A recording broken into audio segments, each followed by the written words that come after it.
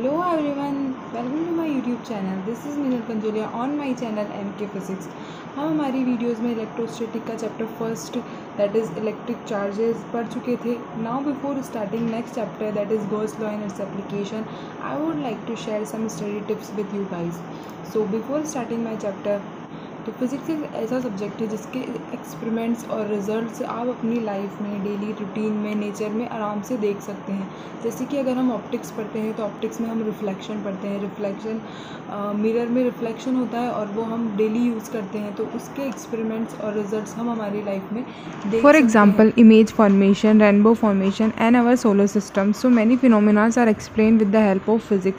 So physics को अगर हम हमारी नेचर से और प्रैक्टिकल यूज़ से रिलेट करके पढ़ें तो वो हमारे लिए बहुत सिंपल हो सकती है। तो आइए हम हमारा नेक्स्ट चैप्टर स्टार्ट करते हैं which is Gauss law and its application आज हम थोड़ा सा introduction if you like my video please subscribe my channel and share it with more and more students so so, इस चैप्टर में जो topic cover होते हैं वो कुछ इस तरह है। फ़र्स्ट जो है electric flux then Gauss law application of the Gauss law and force on the surface on charge conductor and many more here we start with the introduction of this chapter हम जो chapter first था, वो cover कर चुके थे। Now अब हम पढ़ेंगे जो है next chapter that is chapter two इलेक्ट्रोस्टेटिका chapter two which is Gauss law and its application Gauss law and its application अब क्या है? किस तरह हम इसे स्टडी करेंगे, इसे समझते हैं। तो गॉस लॉ को पढ़ने से पहले, सबसे पहले हमें पढ़ना क्या ज़रूरी है? Electric flux but electric flux से पढ़ने से पहले भी ज़रूरी है कि हमें पता चले कि हम गॉस लॉ है क्या और हम इसे क्यों इंट्रोड्यूस कर रहे हैं? हमने इलेक्ट्रिक चार्जेस पढ़ा इलेक्ट्रिक फ़ील्ड पढ़ा।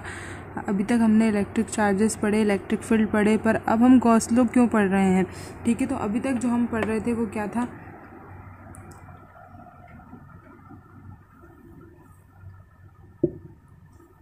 अभी तक जो हम पढ़ रहे थे अभी तक हम सिर्फ़ एक चार्ज की वजह से आ, सिर्फ़ एक एक कोई चार्ज था प्लस क्यू या माइनस क्यू और दो चार्जेस की वजह से।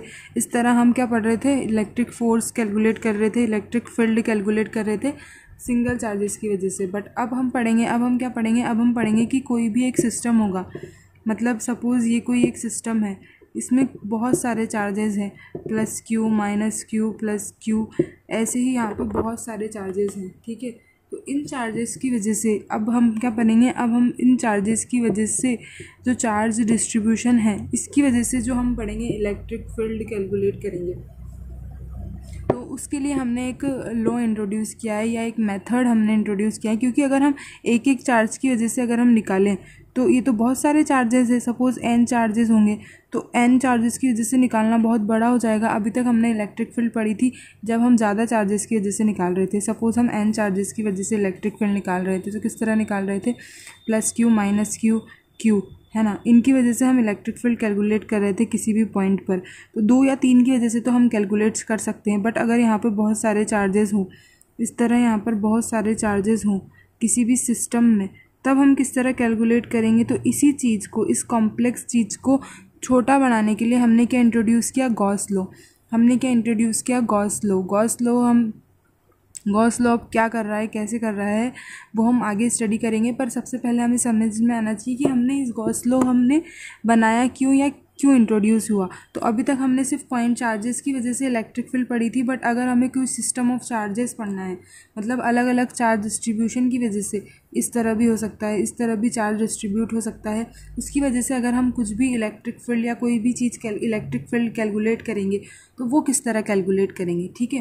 तो गॉस लो गॉस लो हमने इसीलिए इंट्रोड्यूस किया है किसी भी चार्ज डिस्ट्रीब्यूशन की वजह से इलेक्ट्रिक फ़ील्ड कैलकुलेट करने के लिए, ठीक है? तो गॉस लो में गॉस लॉ के अंदर जो सबसे फ़र्स्ट इंपॉर्टेंट चीज़ है, गॉस लॉ अभी हम पढ़ेंगे आगे बट गॉस लॉ के अंदर जो सबसे फ़र्स्ट इंपॉर्टेंट चीज़ है, वो है इलेक्ट्रिक फ्लक्स अब इलेक्ट्रिक फ्लक्स क्या होता है, इसे हम डिफ़ाइन करेंगे. इलेक्ट्रिक फ्लक्स को हम किस तरह डिफ़ाइन करेंगे और इसकी क्या ज़रूरत पड़ी? गॉस लॉ हमने क्यों इंट्रोड्यूस किया? आपको समझ आ गया? तो अब उसके बाद हमने क्या करा? इलेक्ट्रिक फ्लक्स इलेक्ट्रिक फ्लक्स अब इलेक्ट्रिक फ्लक्स की अब क्या डेफिनेशन है, इसे हम किस तरह डिफ़ाइन कर रहे हैं, ये हम आगे पढ़ेंगे. और इलेक्ट्रिक फ्लक्स को भी डिफ़ाइन करने से पहले हम एक और चीज़ डिफ़ाइन करेंगे तो उसको हम लिख लेते हैं।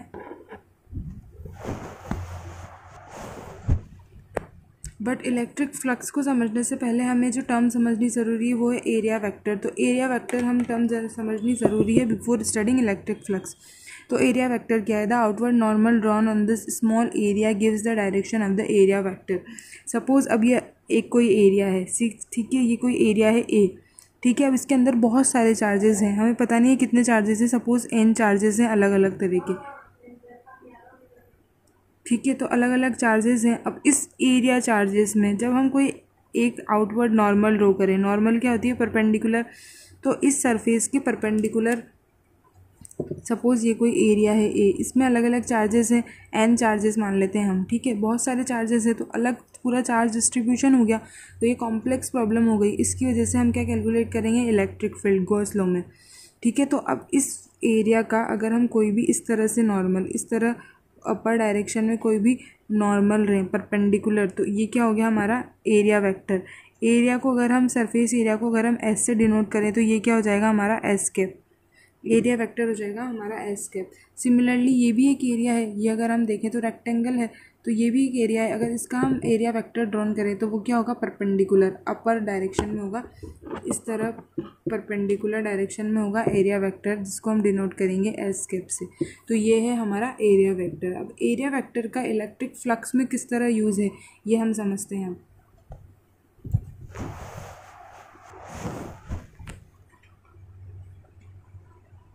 तो जो इलेक्ट्रिक फ्लक्स की जो डेफिनेशन हुई, वो क्या हुई? इलेक्ट्रिक फ्लक्स की जो डेफिनेशन हुई the electric field lines the electric flux through a given area is define as the number of electric field line passing through a area ठीक है?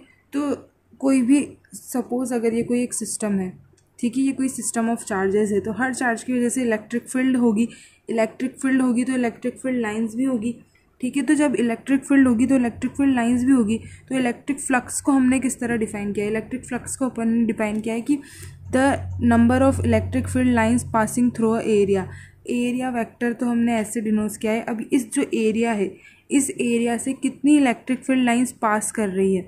इस तरह कितनी इलेक्ट्रिक फ़ील्ड लाइंस इस एरिया से पास कर रही है? वो क्या हमारा हो गया? इलेक्ट्रिक फ्लक्स ठीक है, ये जो एरिया है सपोज़ ये कोई एरिया है, इस इस एरिया से बाहर के एरिया से नहीं, सिर्फ़ ये जो एरिया है, इस एरिया से कितनी number of electric field lines pass कर रही है। यही क्या होगा हमारा? इलेक्ट्रिक फ्लक्स इलेक्ट्रिक फ्लक्स की अगर आप डेफिनेशन देखें तो यही है the electric flux through a given area is define as the number of electric field lines passing through a area तो इलेक्ट्रिक फ्लक्स हम डिफाइन कर चुके हैं। आइए अब इसे और अच्छे से समझते हैं।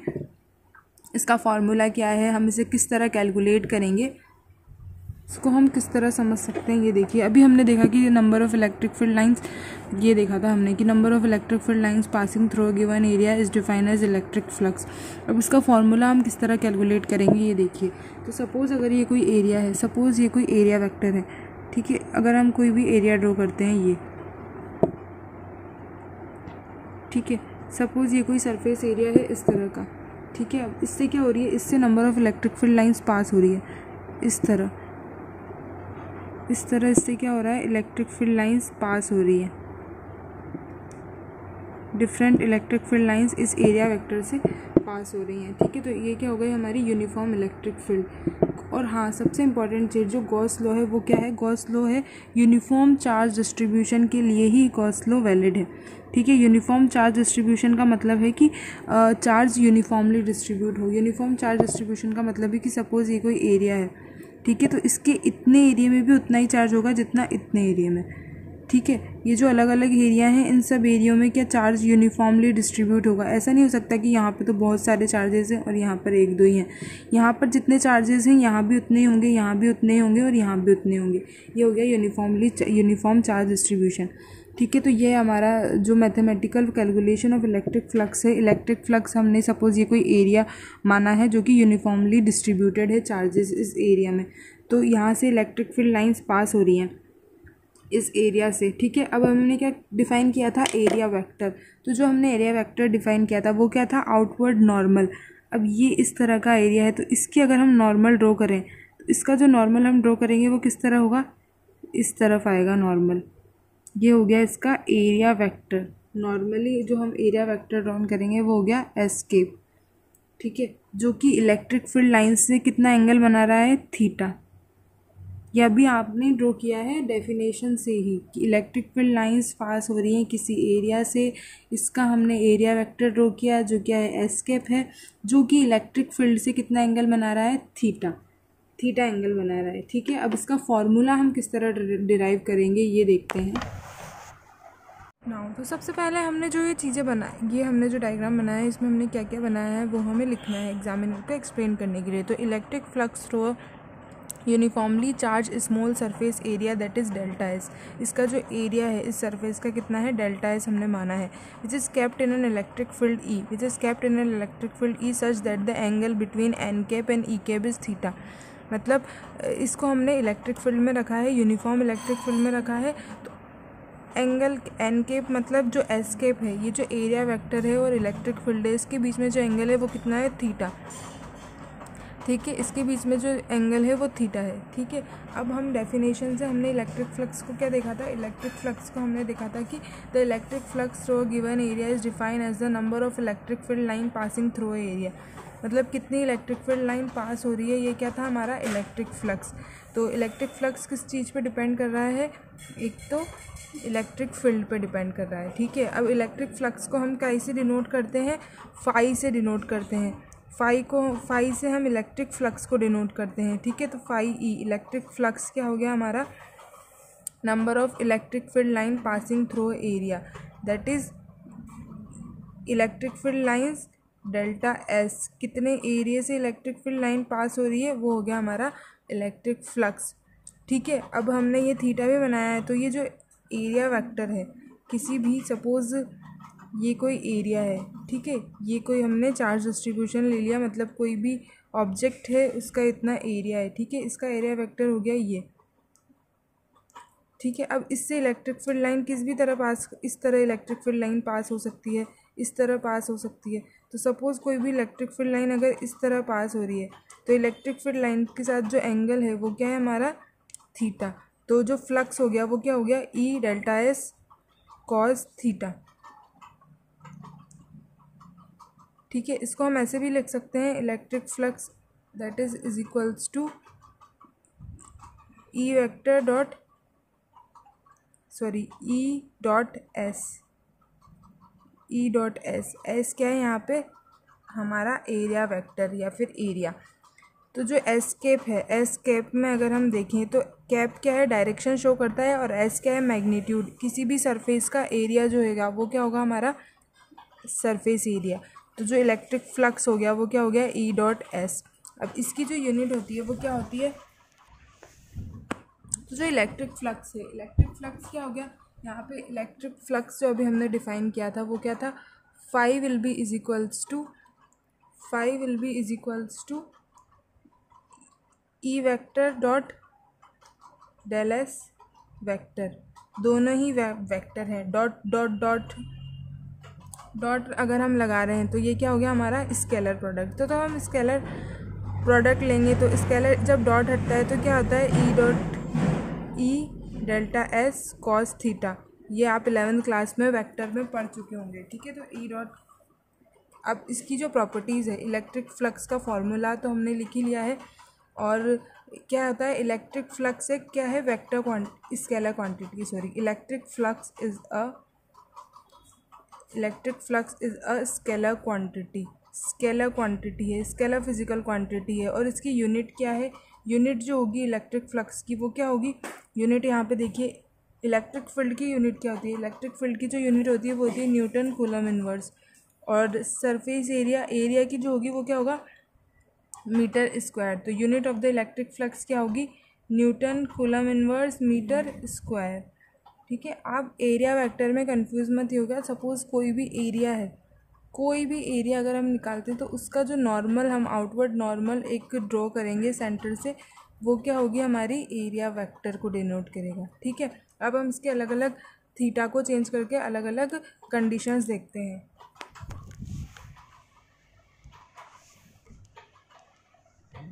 जो फ़र्स्ट केस है फ़र्स्ट केस हम देखेंगे जब थीटा ज़ीरो डिग्री हो मतलब ये जो थीटा है, ये ज़ीरो डिग्री हो। अब ज़ीरो डिग्री अगर ये थीटा होगा तो क्या होगा? इलेक्ट्रिक फ़ील्ड लाइंस ये है। ठीक है तो इसका जो एरिया है एरिया इस तरह होगा कि उसका जो एरिया वेक्टर है, वो भी इसी की डायरेक्शन में हो। ठीक है तो अगर हम देखें तो सरफेस हम कैसे रखेंगे? इस तरह। अगर हम ये कोई सरफेस रखेंगे तो इसका जो एरिया वेक्टर होगा नॉर्मल जो होगा, वो इस डायरेक्शन में होगा। मतलब ये यूँ रखाएगा इस तरफ़। ठीक है तो जो उसका एरिया वेक्टर होगा, वो इलेक्ट्रिक फ़ील्ड की डायरेक्शन में होगा। तो उन दोनों के बीच में ई e और एस के बीच में जो एंगल होगा, वो कितना होगा? ज़ीरो डिग्री हम देख ही चुके तो ई e और एस के बीच में अगर ज़ीरो डिग्री होगा तो इलेक्ट्रिक फ्लक्स क्या होगा? E delta S cos zero cos zero की वैल्यू क्या होती है? कॉस ज़ीरो डिग्री की वैल्यू होती है वन तो जो फ्लक्स होगा, वो क्या होगा? मैक्सिमम इलेक्ट्रिक फ्लक्स होगा। E dot D S maximum electric flux होगा जबकि इलेक्ट्रिक एरिया वेक्टर और इलेक्ट्रिक फ़ील्ड की डायरेक्शन एक ही हो। ठीक है नाउ जो हमारा नेक्स्ट केस है ना नेक्स्ट केस में हम देखेंगे कि जब थीटा कुछ और हो। नाउ जो सेकेंड केस है, उसमें हमारा थीटा इक्वल्स टू क्या है? नाइन्टी डिग्री अब theta equals to ninety degree है, इसका मतलब क्या हुआ कि सपोज़ ये हमारी क्या है? इलेक्ट्रिक फ़ील्ड लाइंस ये हमारी इलेक्ट्रिक फ़ील्ड लाइंस है। ठीक है तो अब एरिया वेक्टर क्या होगा? नॉर्मल तो जब एरिया वेक्टर नॉर्मल होगा तो सरफेस किस तरह रखा होगा? इस तरह कोई सरफेस होगा। ये हो गया हमारा सरफेस ठीक है तो ये हो गई इलेक्ट्रिक फ़ील्ड की डायरेक्शन ये हो गई हमारी एरिया वेक्टर की डायरेक्शन तो जब एंगल नाइन्टी डिग्री है दोनों के बीच में, तब हमारा फ्लक्स क्या होगा? फ्लक्स क्या होता है? E delta S cos ninety degree और कॉज नाइन्टी की वैल्यू होती है ज़ीरो तो जो इलेक्ट्रिक फ्लक्स होगा, वो ज़ीरो होगा। अगर इलेक्ट्रिक फ्लक्स ज़ीरो होगा अगर इलेक्ट्रिक फ़ील्ड के परपेंडिकुलर डायरेक्शन में हमारा एरिया वेक्टर हो। मतलब आ, ऐसे भी बोल सकते हैं कि कोई भी सरफेस इलेक्ट्रिक फ़ील्ड के पैरेलल हो। मतलब जो सरफेस है वो तो पैरेलल हो पर जो एरिया वेक्टर है वो नॉर्मल है। ये जो एरिया वेक्टर है ये क्या हो? परपेंडिकुलर हो। नाउ जो थर्ड केस है हमारा वो है थर्ड केस में हम देखेंगे theta is equals to one eighty degree theta equals to one eighty degree होगा तो suppose theta equals to one eighty degree है।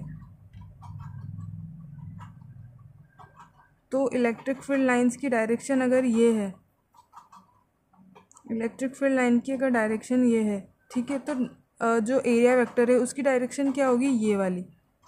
एरिया वेक्टर की डायरेक्शन ये होगी। इस तरह होगी एरिया वेक्टर की डायरेक्शन। तब हमारा जो फ्लक्स होगा, फ्लक्स क्या होगा यहाँ पे? E delta S E delta S cos one eighty degree cos one eighty degree value negative होती है तो क्या होगा हमारा? फ्लक्स यहाँ पे पॉजिटिव फ्लक्स होगा। पॉजिटिव यहाँ पे क्या होगा? Flux negative flux negative flux और नेगेटिव और पॉजिटिव फ्लक्स को हमने किस तरह डिफाइन किया है? कि सपोज़ ये कोई एरिया है, ठीक है? अगर इस एरिया से इलेक्ट्रिक फ़ील्ड लाइंस अगर फ्लक्स पॉजिटिव है तो इलेक्ट्रिक फ़ील्ड लाइंस बाहर जा रही हैं, ठीक है? और अगर इलेक्ट्रिक फ़ील्ड, अगर फ्लक्स नेगेटिव है नेगेटिव है तो अगर फ्लक्स नेगेटिव है तो क्या होगा? तो electric field lines entering the surface, enter कर रही हैं। इसको हमने फ्लक्स को पॉजिटिव और नेगेटिव इस तरह डिफाइन किया है। अगर इलेक्ट्रिक फ़ील्ड लाइंस बाहर जा रही हैं तो फ्लक्स पॉजिटिव है, और अगर किसी सरफेस या एरिया में एंटर कर रही हैं इलेक्ट्रिक फ़ील्ड लाइंस तो फ्लक्स कैसा है? नेगेटिव। नाउ जो हमारा नेक्स्ट केस है, वो है, अगर हमारा जो सरफेस है, वो इरेगुलर हो। मतलब सपोज़ ये कोई एरिया है। सपोज़ ये कोई हमारा एरिया है। ठीक है, अब इसका बहुत सारा पार्ट है अलग अलग पार्ट में डिवाइड है ये। तो यूनिफॉर्मली डिस्ट्रीब्यूट तो है ही सही हमारा। ठीक है तो जब ये हमारा एरिया अलग अलग पार्ट्स में डिवाइड होगा। ठीक है? अभी तक तो हम सिर्फ़ फ्लेट सरफेस की बात कर रहे थे। फ्लेट सरफेस अभी तक हम सिर्फ़ फ्लेट सरफेस की बात कर रहे थे, इस तरह सरफेस की तो इसका एरिया वेक्टर डायरेक्टली ये था नॉर्मल बट अगर इरेगुलर सरफेस हो मतलब कहीं से ऐसा इरेगुलर सरफेस हो, तब हम कैसे कैलकुलेट करेंगे? अब ये तो रेगुलर सरफेस है। मतलब अगर हम ये कोई एलिमेंट मानेंगे रेगुलर और इरेगुलर में क्या फ़र्क है? अगर हम ये कोई एलिमेंट मानेंगे ठीक है? ये अगर कोई एलिमेंट मानेंगे तो इसी तरह का एलिमेंट यहाँ भी है सेम एलिमेंट है, यहाँ भी यहाँ भी। बट ये क्या है? इरेगुलर सरफेस है। अगर हम ये कोई एलिमेंट की शेप लेते हैं तो वैसा ही एलिमेंट हमें यहाँ नहीं मिलेगा क्योंकि यहाँ पे सरफेस क्या है? इरेगुलर है। ठीक है? इसी, इस तरह का अगर इरेगुलर सरफेस हो, तब हम इलेक्ट्रिक फ्लक्स किस तरह कैलकुलेट करेंगे? तो इलेक्ट्रिक फ्लक्स अगर हमें कैलकुलेट करना है तो हम क्या करेंगे? हम एलिमेंट मानेंगे। तो अगर हम ये छोटा सा कोई एलिमेंट मान लेते हैं, ठीक है? तो अगर हम इलेक्ट्रिक फ्लक्स कैलकुलेट करेंगे इरेगुलर सरफेस के लिए, तब हमें क्या करना पड़ेगा? E delta S one plus E delta S two plus E delta S three electric field तो सेम ही है. इलेक्ट्रिक फ़ील्ड हमारे जो इलेक्ट्रिक फ़ील्ड जो पूरे सरफेस से पास हो रही है, वो तो सेम ही होगी. चेंज क्या होगा? एरिया क्योंकि हम छोटे छोटे एलिमेंट लेंगे. तो ये छोटा छोटा एलिमेंट अगर हम लेंगे तो हमारा क्या हो जाएगा? फ्लक्स फ्लक्स छोटे छोटे एलिमेंट को अगर हम देखें, बहुत सारे एलिमेंट हैं। हम कम से कम एन एलिमेंट मान लीजिए या आई एलिमेंट मान लीजिए, बहुत सारे एलिमेंट। तो हम इसको किस तरह लिख सकते हैं कि summation of I is equals to N that is E I plus E I dot delta S I ठीक है? बहुत सारे एन एलिमेंट हैं। एन एलिमेंट हैं तो हम उसको इस तरह समीशन में लिख सकते हैं, ठीक है? अब समीशन को अगर हम इंटीग्रेशन में चेंज करें तो इंटीग्रेशन में चेंज करने के लिए क्या होता है समीशन को? कि ये जो एरिया है, अगर हम इस एरिया को इट टेंड्स टू ज़ीरो यहाँ पे हमें बुक में दे रखा है कि delta S tends to zero है ना? तो वो समीशन क्या होगा? इंटीग्रेशन में चेंज हो जाएगा। बट किस तरह, कि सपोज़ कोई एरिया है, ये एरिया है, अगर इनको ज़ीरो मतलब बहुत छोटा छोटा एरिया लें अगर। बहुत छोटे छोटे अगर हम एलिमेंट माने तो ये जो एलिमेंट है तो बहुत सारे हो जाएँगे। एलिमेंट क्या हो जाएँगे? बहुत सारे इन्फिनिटी तक हो जाएँगे एलिमेंट तो इसी, उस केस में क्या होगा? उस केस में जो इलेक्ट्रिक फ्लक्स है, वो समीशन का जो साइन है, वो किसमें चेंज हो जाएगा? इंटीग्रेशन में। तो ई डॉट डी एस ये क्या होगा हमारा? Electric flux for irregular surface ये जो है, ये फॉर्मूला ज़्यादा इम्पोर्टेंट है। और इसकी यूनिट क्या हो गई? Newton coulomb inverse metre square और इंटीग्रेशन में इंटीग्रेशन आ गया। ये फार्मूला बहुत ज़्यादा इम्पोर्टेंट है, ठीक है? अगर और एक और केस, अगर हम क्लोज्ड सरफेस के लिए लें, क्लोज्ड सरफेस के लिए क्या होगा? क्लोज सरफेस मतलब ये क्लोज सरफेस, ठीक है? मतलब ये आउटर अलग डिवाइड हो गया और इनर पार्ट अलग डिवाइड हो गया। तो अगर क्लोज सरफेस के लिए तो इलेक्ट्रिक फ्लक्स किस तरह डिनोट करेंगे? इस तरह। ये जो इंटीग्रेशन है, इसमें ये क्लोज का साइन आ जाएगा और E dot D S dot का मतलब है cos theta E dot D S dot product है, इसका मतलब कॉस थीटा और क्रॉस प्रोडक्ट होता है तो क्या आता है? साइन थीटा ठीक है तो ये हो गया हमारा इलेक्ट्रिक फ्लक्स कंप्लीट अब हम आगे देखेंगे एग्जांपल्स फ्रॉम योर बुक अब जो फ़र्स्ट एग्जांपल है हमारा, वो है find the electric flux through vector area S vector that is five into ten minus three J K metre square placed in an electric field E vector that is two hundred I K plus three hundred J के volt meter inverse now हमें दे रखा है S दे रखा है surface area that is five into ten two minus three J K और electric field दे रखा है। इलेक्ट्रिक फ्लक्स का फॉर्मूला हम जानते ही हैं that is E dot S vector is equals to अभी इन दोनों का हमें क्या करना है डॉट प्रोडक्ट लेना है। तो डॉट प्रोडक्ट हम किस तरह लेंगे? ई e क्या है हमारे पास? To hundred I K plus three hundred J K dot product five into ten minus three J K तो डॉट प्रोडक्ट हम किस तरह लेते हैं कि डॉट प्रोडक्ट अगर आई और जे का डॉट प्रोडक्ट लें तो किस तरह होगा? आई केप इधर और जे केप इधर। एक्स एक्सिस की तरफ़ आई केप और जे केप क्या होता है? वाई एक्सिस का यूनिट वेक्टर ठीक है तो इन दोनों के बीच का एंगल हो गया नाइन्टी डिग्री और जब हम डॉट प्रोडक्ट लेते हैं तो कौन सा आता है? कॉज थीटा तो कॉज नाइन्टी की वैल्यू ज़ीरो होती है तो i cap dot j cap क्या हो जाएगा? Zero i cap dot j cap तो ज़ीरो हो जाएगा। नाउ अब सेकंड देखते हैं। J cap dot j cap j cap और डॉट जे केप तो जे केप और जे केप का अगर हम डॉट प्रोडक्ट लेंगे तो कॉस ज़ीरो कॉस ज़ीरो की वैल्यू क्या होती है? वन तो इन दोनों की जो वैल्यू आएगी वो क्या आएगी? Three hundred into five into ten raised पर minus three j cap sorry j cap और जे केप का डॉट प्रोडक्ट हो जाएगा। ठीक है तो अब क्या बचेगा? एक fifteen hundred into ten रेस्पा minus three flux flux की जो यूनिट होती है, वो क्या होती है? फ्लक्स की जो यूनिट होती है, वो क्या होती है? फ्लक्स की यूनिट फ्लक्स की यूनिट होती है ई डॉट डेस newton coulomb inverse metre square now जो हमारा नेक्स्ट क्वेश्चन है, वो है ठीक है ना नेक्स्ट एग्जांपल जो है हमारा, वो example two point two a cylinder is lying in a uniform electric field such that its axis along the electric field show that the net electric flux हो द सिलेंडर इज़ ठीक है, अब हमें question में क्या बोल रखा है? एक सिलेंडर है जिसकी एक्सिस है। सिलेंडर की जो एक्सिस है, वो किसके अलॉन्ग है? इलेक्ट्रिक फ़ील्ड के अलॉन्ग तो इलेक्ट्रिक फ़ील्ड के अलॉन्ग इसकी एक्सिस है, ठीक है? ये हमें बोल रखा है। अगर हमें बोल रखा होता इस तरह का परपेंडिकुलर तो हम इस तरह का बनाते। ठीक है तो ये हमें सिलेंडर बोल रखा है। अब हमें क्या करना है? नेट इलेक्ट्रिक फ्लक्स कैलकुलेट करना है। तो फ्लक्स कैलकुलेट करना है तो हमें पहले एरिया वेक्टर कंसिडर करना पड़ेगा। ठीक है? तो ये इस, अगर हम देखें सिलेंडर के तो ये तीन सरफेस में डिवाइड है। एक तो ये वाला सरफेस, एक ये वाला सरफेस और एक ये कर्व सरफेस जो होता है सिलेंडर का। ठीक है?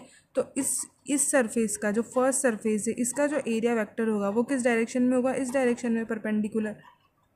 और ये जो सेकंड सरफेस है, इसका एरिया वेक्टर किस डायरेक्शन में होगा? इस डायरेक्शन में आउटवर्ड डायरेक्शन में, ठीक है? अब जो थर्ड सरफेस है, वो कौन सा है हमारा? ये कर्ड सरफेस ठीक है? अगर हम माने इसे थर्ड सरफेस तो इसका जो एरिया वेक्टर होगा, वो किस तरह होगा? इस तरफ़, ठीक है?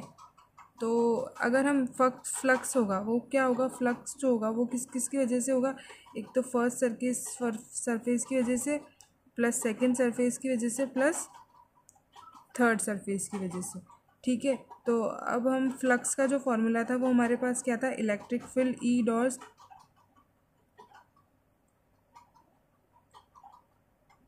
E dot delta S cos theta, ठीक है? Plus E dot delta S cos theta, plus E dot delta S cos theta, ठीक है? अब आप थीटा देखिए। थीटा अगर हम देखें फ़र्स्ट केस में फ़र्स्ट सरफेस के केस में जो एंगल है ई e और एरिया वेक्टर के बीच में, वो कितना है? ज़ीरो डिग्री तो यहाँ पे जो कॉस ज़ीरो की वैल्यू क्या होती है? वन तो यहाँ क्या बचेगा? E dot delta S similarly अगर सेकेंड सरफेस ये इस सरफेस की वजह से देखें तो इलेक्ट्रिक फ़ील्ड वेक्टर इस डायरेक्शन में है और एरिया वेक्टर भी इस डायरेक्शन में है. सॉरी इलेक्ट्रिक फ़ील्ड इस डायरेक्शन में है. इलेक्ट्रिक फ़ील्ड इस डायरेक्शन में है और एरिया वेक्टर इस डायरेक्शन में है। तो इन दोनों के बीच का जो एंगल है वो कितना है? इन दोनों के बीच का जो एंगल है वो कितना है? माइनस वन एट मतलब वन एट्टी डिग्री तो कॉज वन एट्टी डिग्री की जो वैल्यू होती है वो क्या होती है? Minus E dot d S minus one होती है cos one eighty degree degree now जो थर्ड सरफेस थर्ड सरफेस की वजह से अगर हम देखें तो ई e और एस के बीच में जो एंगल है वो कितना है? नाइन्टी और कॉज नाइन्टी की जो वैल्यू होती है वो कितनी होती है? ज़ीरो कॉस ज़ीरो की वैल्यू होती है वन कॉस ज़ीरो डिग्री की वैल्यू होती है वन और कॉस वन एट्टी की वैल्यू होती है माइनस वन तो यहाँ पे माइनस आ गया, अब कॉस नाइन्टी की वैल्यू ज़ीरो तो ये हो गया ज़ीरो तो फ्लक्स क्या हो गया? E dot d S minus E dot d S ठीक है, अब यहाँ पे आप देखिए कि जो इलेक्ट्रिक फ़ील्ड है, वो तो सेम ही है दोनों केस में। इस सरफेस पे भी जो इलेक्ट्रिक फ़ील्ड तो एक ही मैग्नीट्यूड की पास हो रही है। और सरफेस एरिया ये जो एरिया है सरफेस ये भी सेम ही है। तो जो ये इक्वल एंड अपोजिट हो गए, ये भी सेम है एस भी सेम है ई e भी सेम है। तो अगर हम देखें तो E dot del S minus E dot del S क्या हो गया? हमारा ज़ीरो तो जो नेट इलेक्ट्रिक फ्लक्स हो गया, इस सिलेंडर के थ्रू वो क्या हो गया? ज़ीरो जो जो नेट इलेक्ट्रिक फ्लक्स हो गया, वो हो गया ज़ीरो ठीक है? इस तरह आपको अलग अलग सरफेस कंसिडर करके इलेक्ट्रिक फ्लक्स कैलकुलेट करना